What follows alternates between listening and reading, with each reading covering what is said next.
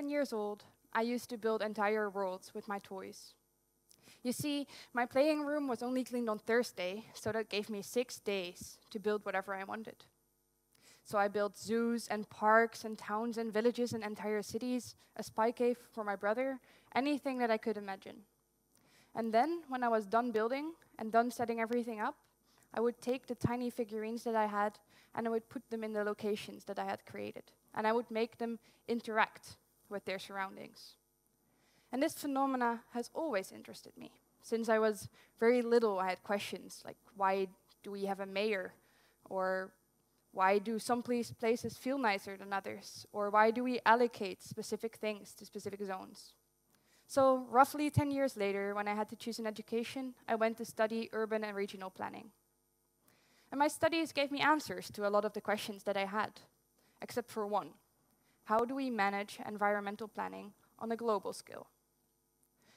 So, in search of an answer to this question, last year I went to, United, to the United States to study abroad and follow a course there called International Development and Change.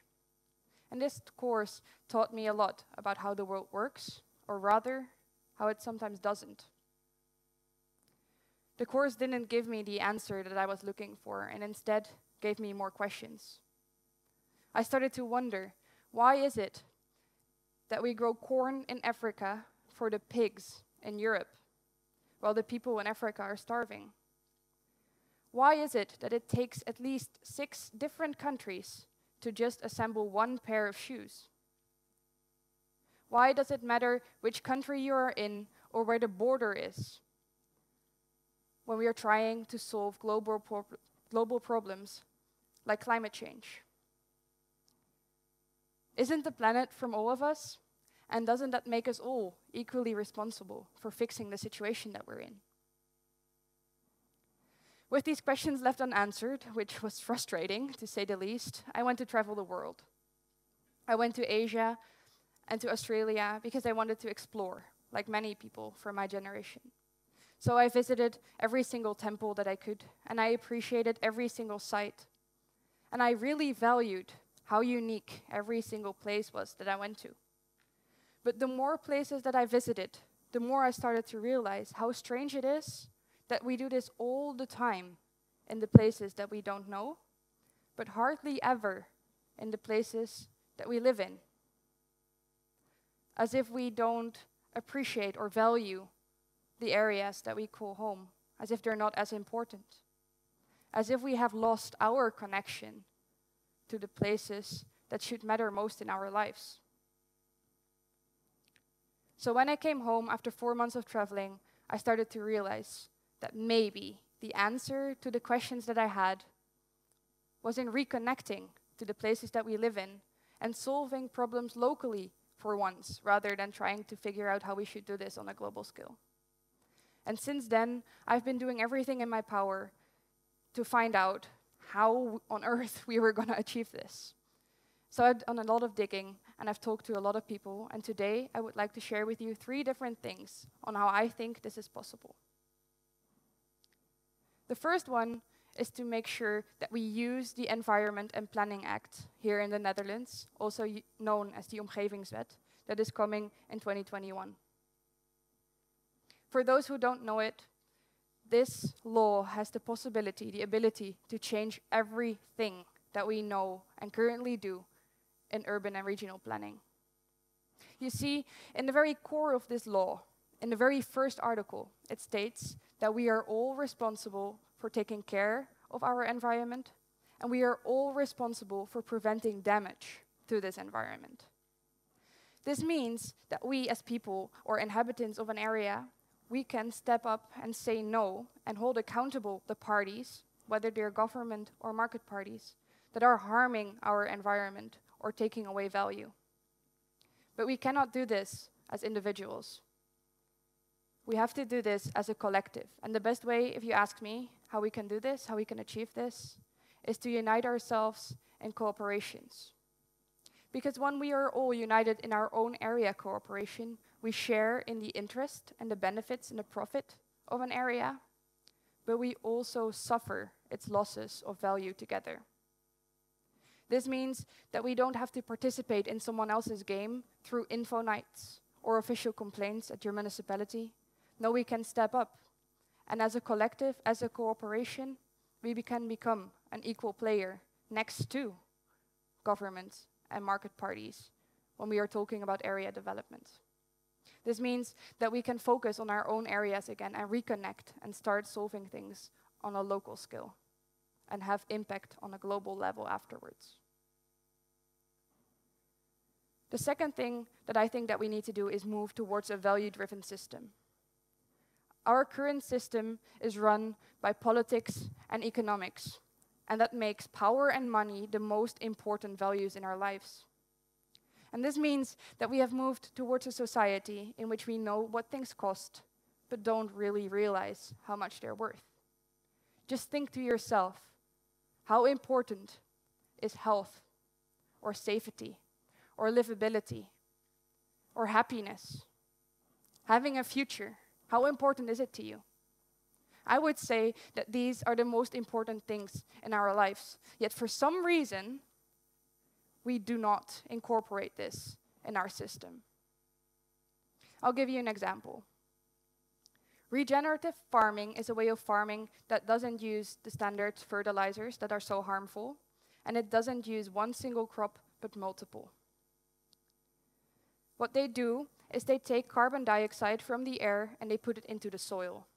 So not only is this good for taking away greenhouse gases and making our planet warm up slow, less fast, it also helps in, in the interaction between crops and soil, which makes it more easy for water to infiltrate into the ground. And then especially in times with extreme drought, such, such as last summer here in the Netherlands. It's important that we have that storage of water in our soil. But also in times of extreme rain, which will become more frequent because of climate change, the water can flow away more easily and then not drown the crops that we grow. Sounds like a solution that we should all be doing, right? All farmers should be doing this. But here's the thing the banks, they don't agree with me. You see, the banks only care about money because money is this, the value that runs our system. And the banks aren't sure if this way of farming makes enough revenue and enough profit, or at least not as much as the way that we do farming right now. So what they do is they put those farmers that want to try to innovate, they put them in what we call special asset management, bijzonder beheer. And then the farmers are held onto by a leash, they're put on under a magnifying glass, they're restricted in their further innovations because it's harder for them to spend their money because their operations are closely monitored. In our system right now, we are punishing the farmers that could possibly save our planet. If we turn this around, if we recognize the value that those farmers add to our environment and not just look at the money, and we combine those, we can start rewarding the farmers.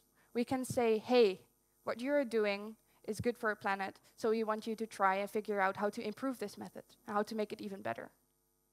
In a value-driven system, this is possible, because in a value-driven system, we can reward those that are trying to innovate and add value in other ways than money. The third thing that I want to share with you today is, in my opinion, the most important if we want to make this change. And it is to organize maneuverability. We have become shy. Not shy to form opinions or shy to speak our minds. We have become shy to act. We have become scared of doing something different from what everybody else is doing. We don't want to stick our necks out and try something new because it could mean that you could fail. A failure, that means that you could lose your face or worse, your money. So we don't do it. And it's a shame because this slows down progress. And it's a shame because it's so easy to undo. Because all we have to do is unscare ourselves of failure. I'll give you another example me. I'm standing here today telling you that these three points might possibly save the planet. I'm telling you this story that these things will change our lives. but I'm not 100% sure of the impact that it will have. And it might be that somewhere I'm wrong and it doesn't turn out to work the way that I think it works. But it doesn't matter because I don't see this as failing. Because if I'm wrong and if I make a mistake or if some aspect of it doesn't turn out to be true, I see this as a chance to maneuver myself into a new attempt. I'll try again. And I'll just keep on trying and I'll keep on going until I get it right. Because there's no point in waiting for someone else to learn how to do it for me. Because there's no time, we need to change. So I'll just keep on trying and I act on what I think is the right thing to do. After all, we only learn to ride a bike after we've fallen off a couple of times. And that's just learning to ride a bike. Imagine how many mistakes we have to make if we want to change the way the world works. So I want to invite you all to join me in making as many mistakes as we can and trying to figure out how we can solve the situation that we're in. Four months ago, I came home from my travels. And since then, I've done everything in my power to make people aware of the challenges that we face. And luckily, when I look around, I see that change is happening. I see that we're getting there. The movement that we're in is inevitable, but we can control how fast it goes. And I would like to invite you to join me in this. Because I truly believe that it doesn't matter if you want to do something with food or health or waste or any topic that you feel sympathetic about. As long as you use your power and your influence in your own local area, you can and you will make a difference.